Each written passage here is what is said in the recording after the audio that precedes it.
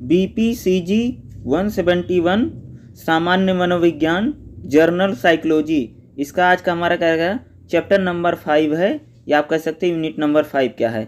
व्यक्तिगत अंतर और बुद्धिमत्ता। यानी हम इसमें बुद्धि के बारे में बात करेंगे। बुद्धि की परिभाषा क्या है? या बुद्धि के सिद्धांत क्या हैं?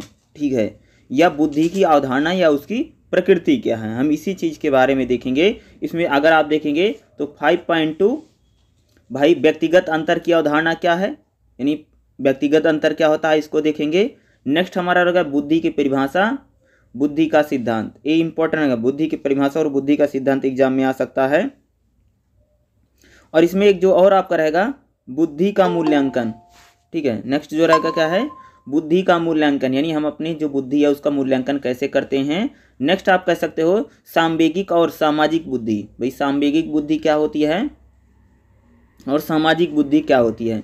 इन सभी चीज़ के बारे में इस चैप्टर में देखेंगे। तो सबसे पहले अगर आप इसमें देखेंगे तो सबसे पहले फाइव पॉइंट टू में देखेगा व्यक्तिक अंतर की अवधारणा और प्रकृति देखेगा विविधता या अंतर पृथ्वी के सभी जैविक आबादी पर अपरिहार रूप से लग कहते हैं कि जो विविधता का अंतर है। आपने देखा जैसे हर इंसान में बहुत सारा विविधता होती है, यानी डिफरेंस होता ना, इंसानों में विविधता है। उसी प्रकार से कह रहे हैं कि, भाई, पृथ्वी पर जितने भी आबादी है, जितने भी लोग हैं, उनमें क्या है? विविधता है। चाहे पेड़ हैं, पौधे हैं, जीव है, जंतु हैं, सब में क्या है? विविधता रहती है। ठीक है?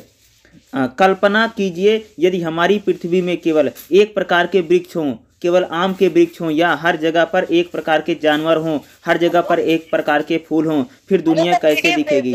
ठीक है इसमें कल्पना कर व्यक्ति कंकत अंतर का मतलब होता है जैसे हम बात करें जैसे हम इंसान देखते हैं ठीक है जैसे हम लोग हैं भाई हम लोगों में क्या इंसान में कोई छोटा है कोई मोटा है कोई काला है कोई पीला है कोई गोरा है हर प्रकार के लोग हैं ना?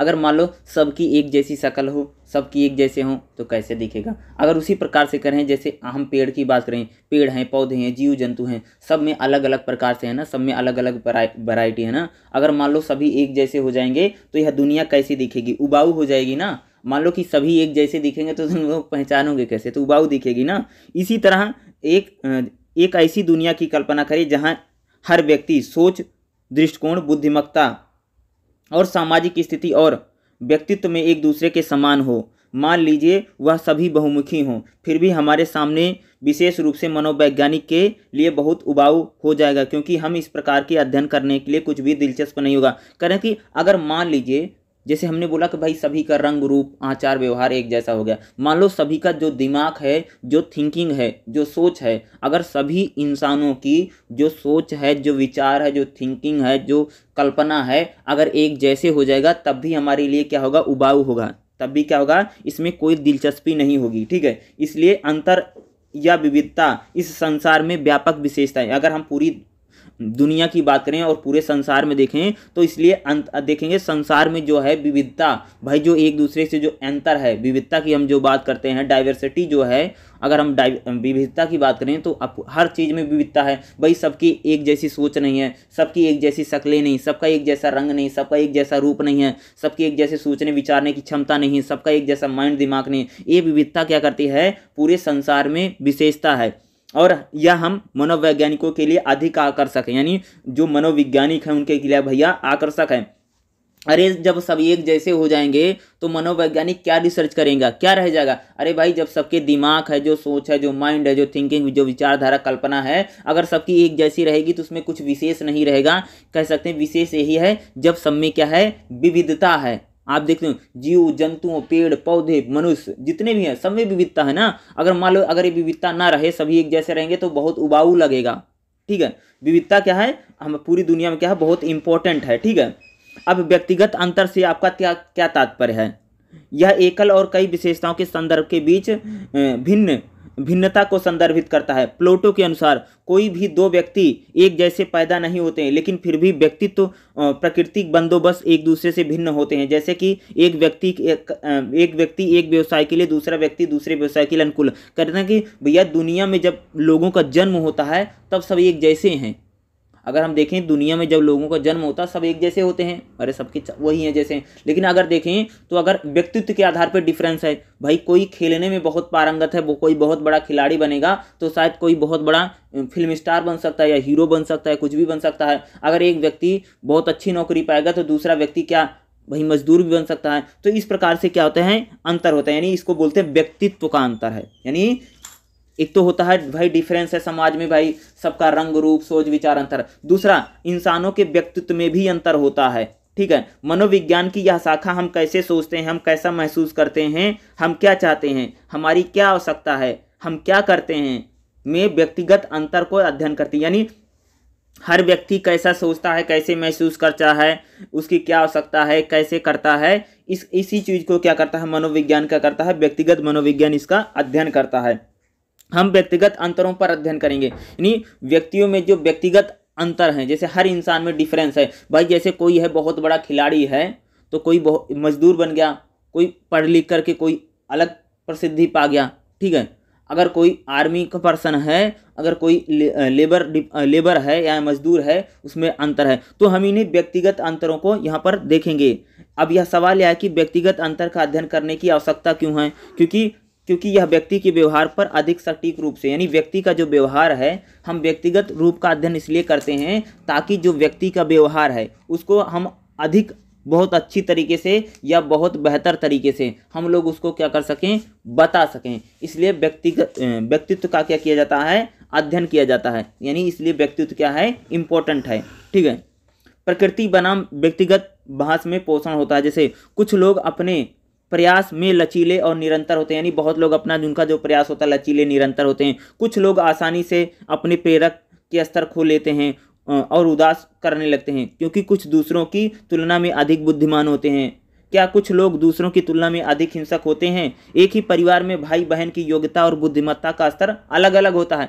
हैं भैया कि जैसे मान लो एक ही परिवार में बच्चे का जन्म हुआ तो कोई बहुत बढ़ाकू है तो कोई पढ़ाकू नहीं है। कोई किसी में बहुत ज़्यादा सहनशीलता किसी में नहीं। कोई बहुत गुस्सा करता, कोई बहुत गुस्सा नहीं करता। यानी एक ही परिवार में जन्मे हैं भाई बहन है, लेकिन उनमें क्या होता है, हमें अंतर दिखाई देता है, उसमें डिफरेंस हमें प्रकृति में दिखाई नहीं व्यक्तित्व, यानी प्रकृति की बात अलग है। लेकिन हम व्यक्तित्व की बात करें तो व्यक्तित्व में भी व्यक्तियों में क्या होता है, अंतर होता है, जबकि वह एक ही परिवार में जन्मे हैं, फिर भी उनमें हमें क्या होता है डिफरेंस दिखाई देता है, या हम उस अंतर को देखते हैं।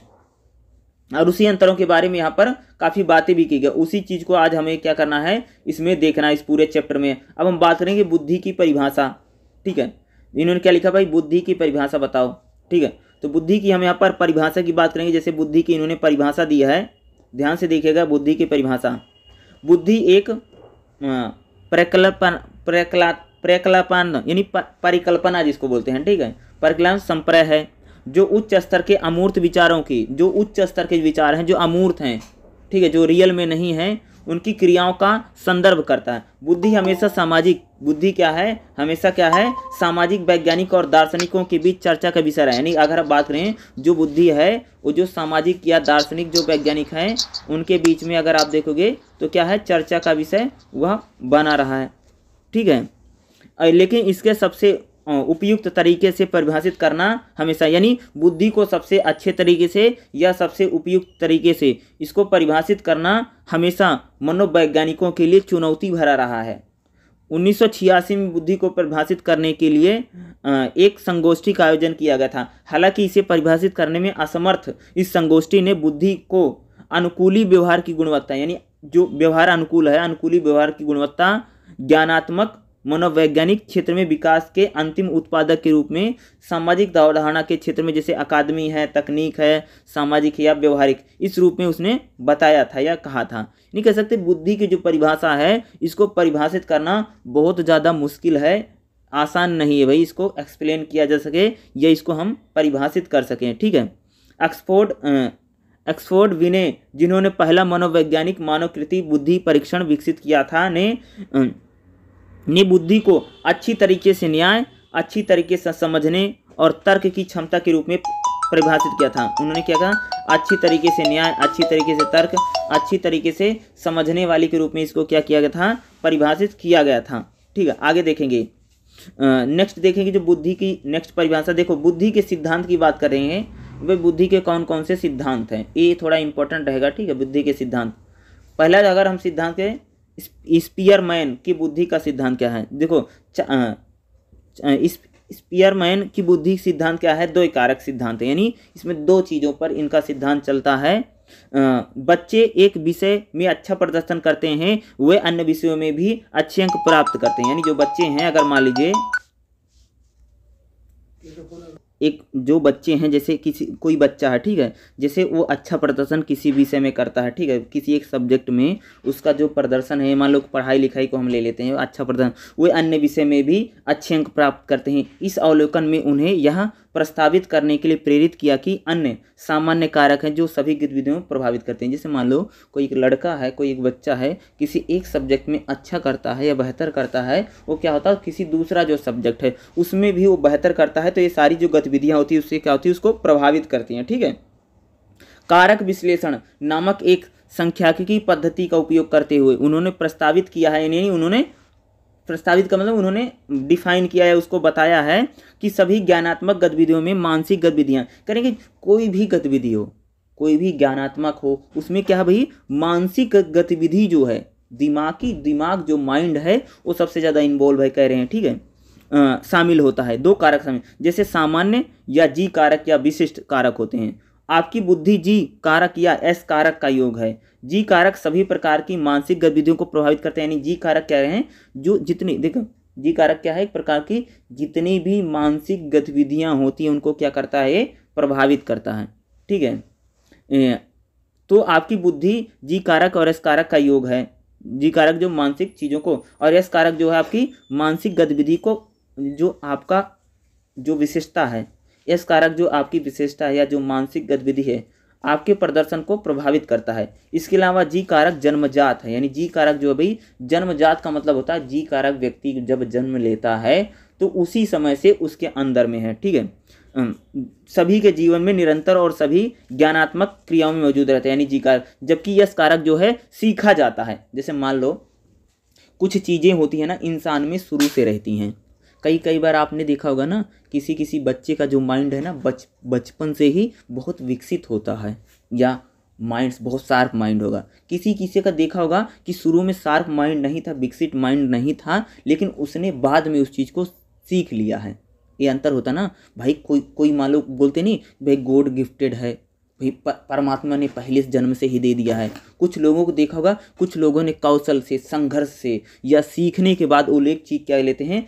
सीख लेते हैं। इसी सिद्धांत को ये बता रहे हैं। करें कि बुद्धि के अगर हम इस सिद्धांत की बात करें तो बुद्धि का सिद्धांत बताता है, कुछ लोगों का जो दिमाग होता, जो माइंड होता है, वह शुरू से गॉड गिफ्टेड है या भगवान का रहता है। ये सच्चा, सच्ची बात है, ठीक है? कुछ लोगों में ऐसे दिमाग होता है, जो असामान्यता बहुत तेज है, ठीक है? उन्होंने सीखा नहीं, बल्कि गॉड गिफ्टेड है। कुछ लोग जो होते हैं, उनमें अगर ऐसा नहीं है तो लोग सीख लेते हैं, उनके बराबर हो जाते हैं। तो ये दो चीज़ें होती हैं, ठीक है? अगला जो सिद्धांत है, थर थर्स्टन थर्स्टन का बुद्धि, बौद्धिक सिद्धांत है, या बुद्धि सिद्धांत। देखो, इस सिद्धांत में बोला गया है, पियर मैन के बुद्धि के सिद्धांत की आलोचना करते हुए कहा गया है, जी कारक नहीं है, बल्कि बजाय प्राथमिक, बुद्धि प्राथमिक मानसिक क्षमता, यानी P M P M A का समूह है। मूल रूप से सात प्राथमिक मा, मानसिक क्षमताएँ हैं और सभी एक दूसरे से स्वतंत्र हैं। इन पीएम का पीएमए का यहाँ पर विवरण दिया गया। जैसे उन्होंने सात जो पीएमए है उसका विवरण क्या बोलते हैं? जैसे क्या शब्द प्रवाह शब्द को तेज़ी से सोचने और उपयोग करने की क्षमता जैसे इसका क्या करते हैं? इसमें क्षमता जो चीज़ विकसित करते हैं।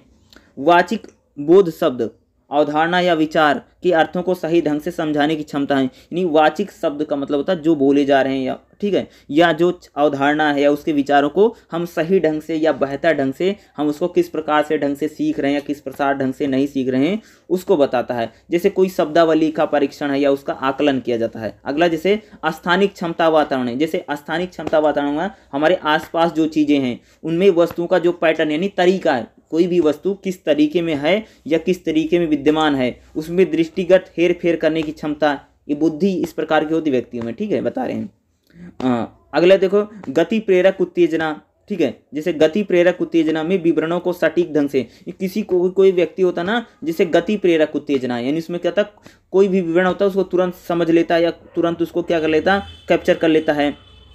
संख्यात्मक योग्यता ये संख्यात्मक योग्यता क्या करती है? किसी भी समस्या को जल्दी और सही तरी आ, सही तरीके से हल करने की क्षमता। कोई कोई कोई जो होता ना जैसे क्या होता कि कोई व्यक्ति है मैथ के सवाल को बहुत जल्दी हल कर देगा ऐसा होता है रियल है ठीक है? कोई व्यक्ति जो उसकी बुद्धि बहुत तेज चलती है उसको शायद मैथ या जो है वो जल्दी कर सकता है। यानी संख्यात्मक जो समस्या है ठीक है? कैलकुलेशन जिसे हम बोलते हैं कि अगर कैलकुलेशन को लेकर के है, कुछ लोग जो हैं, बहुत जल्दी उसको जोड़ देंगे, बहुत लोग उसको जोड़ते ही रहेंगे, पाँच मिनट उनको लग जाएगा। तो इसे भी, इसमें भी बुद्धि का है एक होता है, ठीक है? और नागात्मक अगानात्मक देखो ये क्या करें, निरीक्षण करने में एक सामान्य विनिमय होता है। देखो क्या होता है कि जैसे किसी चीज़ का निरीक्षण किया जाता है ठीक है जब हम किसी चीज़ को सर्वे करते हैं निरीक्षण करते हैं तो उसमें भी नियम बनाने की क्षमता है। जैसे स्मृति जल्दी और सही तरीके से याद करने की देखो किसी किसी व्यक्ति में होता ना कि वो आ, कोई बात है या कोई शब्द है जैसे मान लो कि याद किसी किसी की जो याददाश्त है वो बहुत तेज रहती है। हो सामान्यता होता है भाई स्मृति को जल्दी याद करने की क्षमता या सही तरीके से। किसी किसी व्यक्तियों में क्या होता है कि कोई जो चीज़ है जैसे मान लो याददाश्त है, किसी किसी को चीज़ें याद रहती हैं। कोई व्यक्ति होता भाई भूल जाता है। ये होता है कि किसी में सोचना और समझने का जो है, वो ज़्यादा तरीका हो जल्दी से सोच लेता, समझ लेता है। या सोचना समझ कह सकते हो, वो याद रख सकता है। यानी उसमें याददाश्त बहुत तेज है। भाई आज के पचास साल की बात भी उसको याद है। कुछ कुछ को पिछली शाम को क्या खाया था, वही उनको पता नहीं है। तो याद करने की क्षमता जो होती है, कुछ लोगों में पुनर्स्मरण करने की क्षमता बहुत ज़्यादा। पुनर्स्मरण का मतलब रिकॉलिंग दोबारा उसको स्मरण कर सकते हैं, जो घटना है कोई भी बात है, ठीक है? सिर्फ़ इन्हीं दो सिद्धांत जो है ज़्यादा इंपॉर्टेंट है, और इन्हीं दो सिद्धांतों को अगर आप लिख देंगे तो यानी बुद्धि का सिद्धांत जो है, ये थोड़ा ईजी हैं, और इनको लिख सकते हो, ठीक है? जो मैंने बताया था, जब आएगा तो इन सिद्धांतों के बारे में इसको लिख सकते हो, बुद्धि का जो सिद्धांत है अलग, जैसे गार्डनर का सिद्धांत है, ठीक है? इसमें भाषागत सिद्धांत है या संगीकात्मक जो सिद्धांत है या स्थानिक सिद्धांत है, इसको यहाँ पर बताया गया। तो इनके कुछ सिद्धांत है, इसमें सिर्फ़ दो ऊपर के जो सिद्धांत है, वो थोड़ा ज़रूरी है, उसको ज़रूर करके जाना। बुद्धि का मूल्यांकन कैसे किया जाता है, ठीक है? अगर हम बुद्धि के मूल्यांकन की बात करें तो इसमें क्या रहेगा, ठीक है? जैसे यहाँ पर बुद्धि का मूल्यांकन जो करें। जैसे बुद्धि का मूल्यांकन का मतलब होता कि भाई जैसे जैसे एज बढ़ती जाती है वैसे बुद्धि बढ़ती जाती है बुद्धि श्रेष्ठ होती जाती है। यहाँ पर एक टेबल बनी है जैसे तीस से अधिक अति श्रेष्ठ बुद्धि होती भाई कितनी आपकी है। ये कोई ये कोई आ, मापा जाता है बुद्धि को मापन किया। ठीक है बुद्धि मूल्यांकन उसी को बोलते हैं जब हम किसी की बुद्धि को माप रहे हैं। भैया इतना सौ नंबर पे आ रहा है? भाई तुम बिल्कुल अनपढ़ हो तुम्हें ज़्यादा दिमाग नहीं है। एक सौ बीस आ रहा, चलो ठीक ठाक है। डेढ़ सौ आ रहा, चलो तुम बहुत अच्छे हो। दो सौ आ गया, तुम बहुत ब्रिलियंट हो। इस प्रकार से बुद्धि को मापा जाता है। तो बुद्धि बुद्धि मूल्यांकन का मतलब है, जब हम मस्तिष्क को मापें, कौन ज़्यादा योग्य है, किसकी बुद्धि क्षमता ज़्यादा है, किसकी बुद्धि दुर्बल है, या किसकी बुद्धि औसत है, किसकी बुद्धि निम्न है, किसकी बुद्धि श्रेष्ठ है, और किस व्यक्ति की बुद्धि अतिश्रेष्ठ है। यहाँ पर एक टेबल बनाई गई है, उस टेबल में आना, ठीक है। बुद्धि परीक्षण के प्रकार के ऊपर एक टेबल बनी हुई है, इसको टेबल में देखिए, ठीक है? इस टेबल से ही इस क्वेश्चन को समझेंगे, ठीक है? देखो, एक तरफ़ है बुद्धि सीमा, यानी आपकी बुद्धि की सीमा कितनी है, और फिर उसका मतलब क्या है? देखो, पच्चीस से कम है अगर आप, ठीक है? तो क्या है? अति गंभीर मानसिक दुर्बलता, यानी आप बहुत ही एक टाइप से मानसिक रूप से बीमार हैं, आपकी बुद्धि बिल्कुल काम नहीं कर रही है। पच्चीस से उनतालीस, गंभीर मानसिक दुर्बलता, यानी गंभीर है, ठीक है?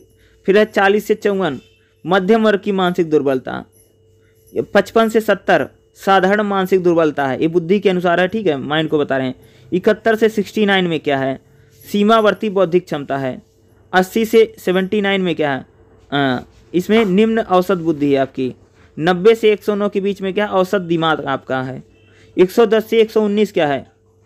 उच्च औसत बुद्धि है। यानी उच्च औसत बुद्धि का मतलब होता है कि एक लेवल तक है। 120 से एक सौ उनतीस में क्या है? श्रेष्ठ बुद्धि है आपकी। 120 से अगर एक सौ उनतीस के बीच में अगर आप बुद्धि सीमा है तो आपकी श्रेष्ठ बुद्धि है।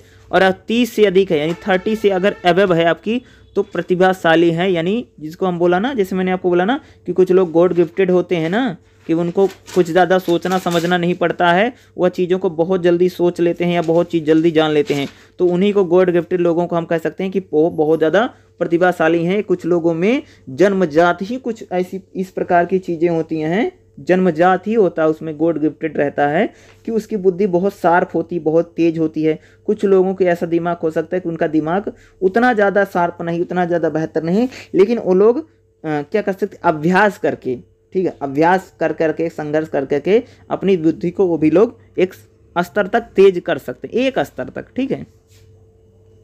बुद्धि परीक्षण के प्रकार भाई हम बुद्धि का परीक्षण कैसे कर सकते हैं ठीक है।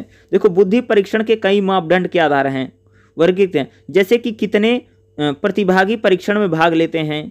परीक्षण में प्रयुक्त एकांश के आधार पर परीक्षण का उपयोग विभिन्न संस्कृतियों में किया जाता है या नहीं। बुद्धि परीक्षण के वर्गीकरण के आरेख निम्नलिखित हैं। व्यक्तिगत और सामूहिक बुद्धि परीक्षण, यानी जब हम व्यक्तिगत रूप से करें। ठीक है, देखो, किसी एक व्यक्ति के बुद्धि के बारे में बताएँ और सामूहिक बुद्धि परीक्षण। एक संख्या में दस पंद्रह लोगों में बताएँ। देखो, व्यक्तिगत बुद्धि परीक्षण क्या है? एक व्यक्तिगत परीक्षण वह है जो एक व्यक्ति के बारे में दिया जाता है। जैसे मान लो हमने किसी एक व्यक्ति को लिया, उसका दिमाग का जाँच किया, इसकी बुद्धि दिमाग कितना है बता दिया। कई मानवकृत व्यक्तिगत परीक्षण जैसे कि द कॉपीमैन मापनी, स्टेफन, स्टेफोर्ड, वेपन मापनी, मपनी और बुद्धि मापनी, यानी कर कहते एक जो किया करती है कि व्यक्तिगत है। यानी हम इसमें क्या करते हैं कोई जो एक पर्सन है, ठीक है, जो कोई एक इंसान है या जो एक पर्सन है, हम उसके, क्या करें, हम उसके बुद्धि को मापते हैं, यानी सिंगल पर्सन को मापते हैं, व्यक्तिगत बुद्धि परीक्षण को बोला जाता है, ठीक है। जैसे यहाँ पर स्टैनफोर्ड स्टैनफोर्ड बाने बुद्धि मापन क्या है, इनको उन्होंने बता रखा है, फिर अलग अलग किस प्रकार से हम बुद्धि को मापते हैं, ठीक है, दिमाग को मापने का यहाँ पर अलग अलग प्रकार बताया गया है। तो यहाँ पर जो है, जिस, जो इम्पोर्टेंट मूल रूप से जैसे इन्होंने बताया कि भाई हम बच्चों की बुद्धि को मापन कैसे करेंगे, यानी इसमें पूरी तरीके से जो बुद्धि मापन है, उसको यहाँ पर बताया गया है। जैसे समूह बुद्धि परीक्षण इतना ज़्यादा इंपॉर्टेंट होता नहीं, ठीक है, इतना सारा लिखना भी इतना नहीं रहता है। शाब्दिक और अशाब्दिक परीक्षण शाब्दिक अशाब्दिक परीक्षण का मतलब ये होता है कि कोई व्यक्ति जो होता है उस शब्दों को बहुत अच्छे से सफलता पूर्वक बोल लेता है या उसके भाषा की समीक्षा नहीं होती है। कुछ अशाब्दिक परीक्षण यानी कुछ लोग जो होते हैं, वह शब्द जो है, उसका प्रोनाउंसिएशन अच्छे से नहीं कर पाते हैं। कई बार हो सकता है, ठीक है? शाब्दिक परीक्षण जो व्यक्ति बहुत अच्छे से किसी शब्द को बोल लेता है, यानी उसको बोलते समय किसी प्रकार की कठिनाई का सामना नहीं करना पड़ रहा है। अशाब्दिक परीक्षण यानी वो शब्दों को बहुत बेहतर ढंग से नहीं बोल पाता है। संस्कृति निरपेक्ष और सांस्कृतिक अभिनत परीक्षण। संस्कृति निरपेक्ष और संस्कृति अभिनत परीक्षण जैसे संस्कृति मुक्त परीक्षण। ठीक है? अगर हम किसी बुद्धि का परीक्षण करें तो उसमें संस्कृति जो है, कहाँ वो पढ़ा है, पला है, बड़ा है, उसके आधार पर जब बुद्धि अलग अलग होती है, जैसे जैसे मान लो कोई लड़का जो है भारत में है तो उसकी बुद्धि है। कोई व्यक्ति अगर अमेरिका में रहता है तो उसकी बुद्धि दोनों में डिफरेंस होगा ना? कोई गाँव का लड़का है, कोई शहर का लड़का है तो उसमें दिमाग में, बुद्धि में, सोचने, समझने में कुछ फ़र्क आता है कि नहीं आता, बताइए? ये संस्कृति होती है, संस्कृति का फ़र्क हो सकता है। जैसे उन्हें बोला ना कि भारतीय प्रहरी क्षेत्र में पले बड़े बच्चे से अमेरिका में पाला गया बच्चा, कई मामलों में बहुत अलग होगा। वही कहेंगे कि कोई अगर बच्चा भारत के गाँव में पल रहा है और कोई मेट्रो सिटी में पल रहा है तो फ़र्क होगा ना? और कोई बच्चा भारत की मेट्रो सिटी में पल रहा, कोई अमेरिका में पल रहा है तो उन दोनों की बुद्धि में क्या होगा? डिफरेंस होगा ना? अंतर होगा ना? वो बुद्धि में हमें दिखाई देगा। यानी उसमें इन दोनों का जो अंतर होता है, वह हमें बिल्कुल साफ़ और स्पष्ट तरीके से, यानी उन दोनों की बुद्धि परीक्षण में हम उसको आसानी से देख सकेंगे। यानी उन दोनों के जो दिमाग है, जो माइंड है, अगर हम उसमें बात करें, बिल्कुल क्लियर तौर से आपको दिखाई देगा कि उन दोनों का जो माइंड है, वो बिल्कुल अलग अलग है। यानी रहन सहन, जो सभ्यता संस्कृति होती है, ठीक है? संस्कृति परीक्षण में हम देखते हैं कि भाई आप कहाँ पर पढ़े हैं, बढ़े हैं, उससे भी आपके दिमाग जो माइंड है, उसकी बुद्धि पर उसका भी क्या करता है? प्रभाव पड़ता है। नेक्स्ट जो हमारा रहेगा, सांवेगिक और सामाजिक बुद्धि क्या होती है? इसको थोड़ा, ये शायद आपका एक बुक थी, मैं अगर भूल रहा हूँ B P C G one seven five है। थोड़ी वन एट्टी फाइव है। उसमें सांवेगिक बुद्धि और सामाजिक बुद्धि पर पूरी बात की गई है। शायद वो चैप्टर किताब बुक ही इसी पर चलती है, ठीक है?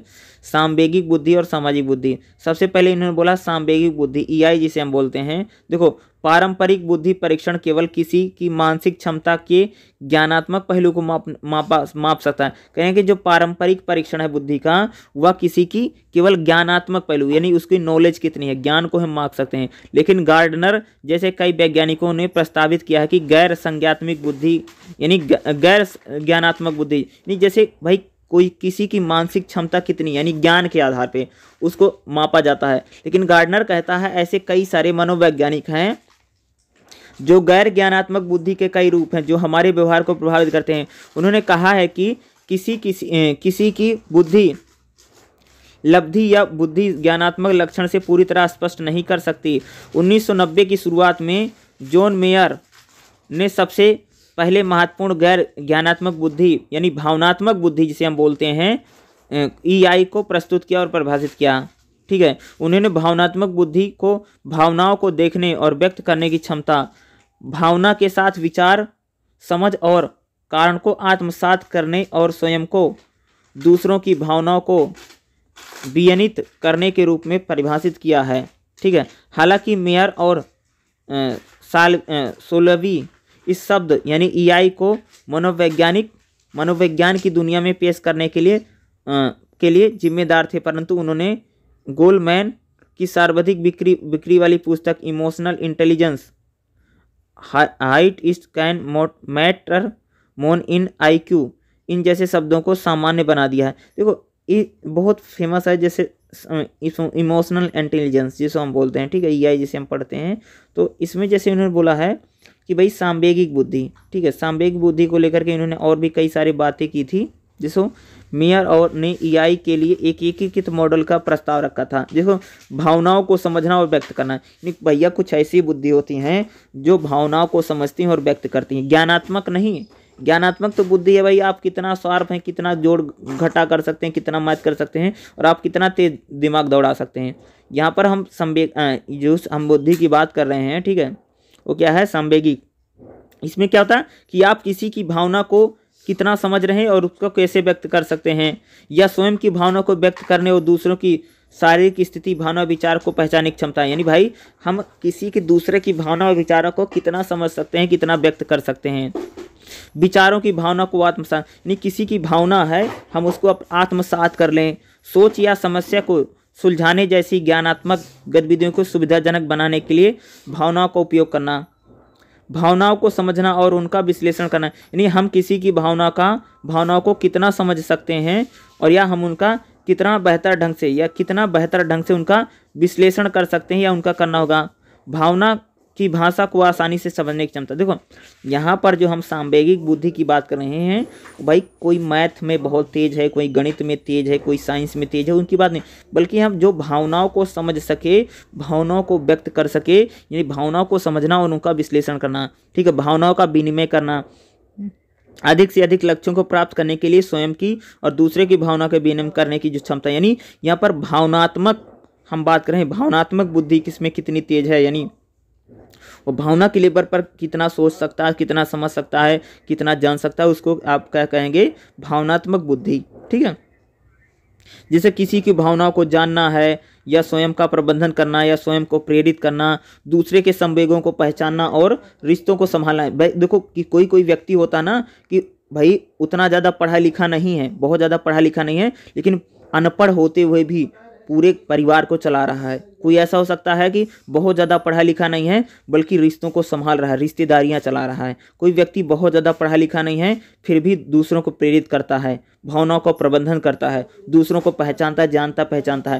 लेकिन उतना जो पढ़ा लिखा व्यक्ति है, शायद वो ना करे। इसलिए यहाँ पर हम जो सांवेगिक बुद्धि करें, यानी जो संवेग है, ठीक है, जो भावना है, ठीक है भावनाओं को ज़्यादा बेहतर समझ रहा है। जैसे मतलब कोई व्यक्ति हो सकता है, भाई, बहुत ज़्यादा पढ़ा लिखा ना हो, लेकिन वो रिश्तों को संभाल रहा, घर का मुखिया हो और घर में सबकी अच्छी तरह से ख्याल करता है। ऐसा हो सकता है।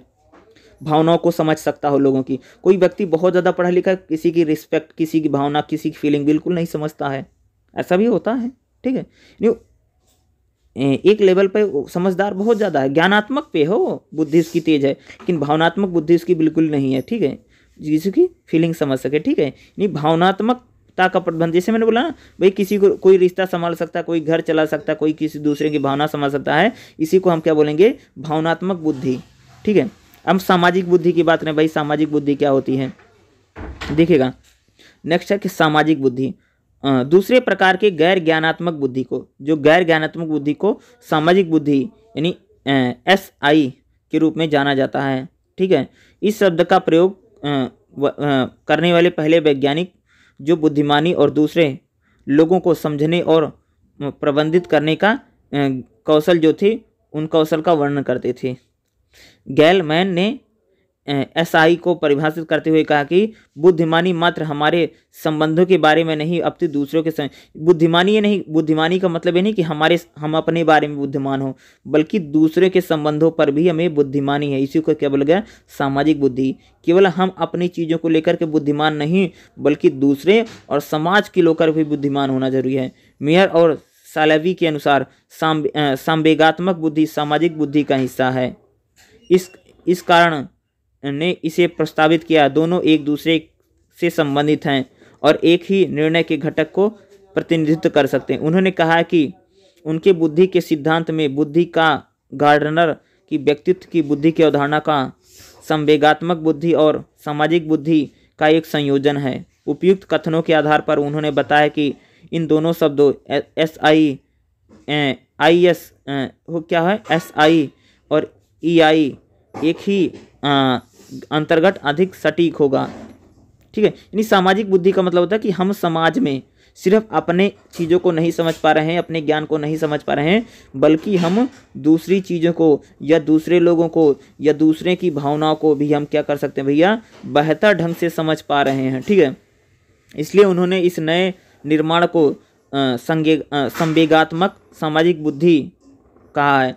बार ओन मॉडल के अनुसार संवेगात्मक, सामाजिक बुद्धि अंतर्भावनात्मक सामाजिक दक्षता, कौशल और सुविधा का एक अनुप्रस्थ काट है, जो यह निर्धारित करता है कि हम खुद को कितने खुद को कितने प्रभावशाली संघ से समझते हैं और व्यक्त करते हैं, दूसरों को समझते हैं और उनसे संबंधित दैनिक मांगों का समर्थन करते हैं। यानी जब हम खुद को समझते हैं, खुद को व्यक्त कर सकते हैं, जब हम दूसरों को समझ सकते हैं और दूसरों को व्यक्त कर सकते हैं, उसको हम क्या बोलेंगे?